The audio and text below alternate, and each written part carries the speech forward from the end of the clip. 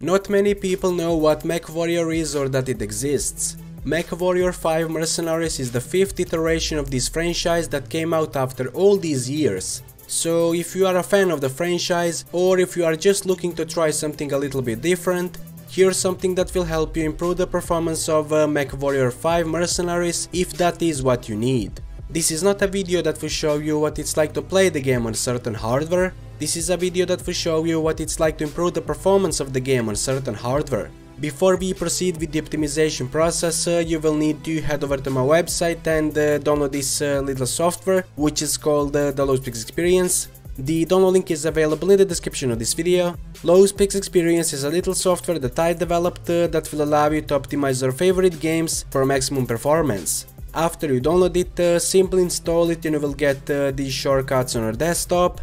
Now start it and uh, head over to the optimization catalog section.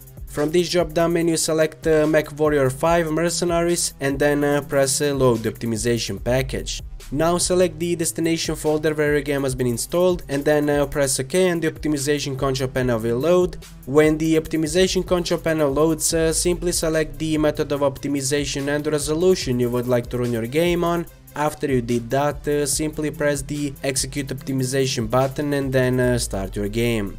Feel free to experiment with the resolutions and optimization methods uh, to find uh, what works for a system the best. If uh, you are not happy with optimization results, you can always restore your game to default settings. Simply select the restore default option and your game will revert to default settings. If you found this video useful in any way, please be sure to like and subscribe. Anyway, I'll see you all next time.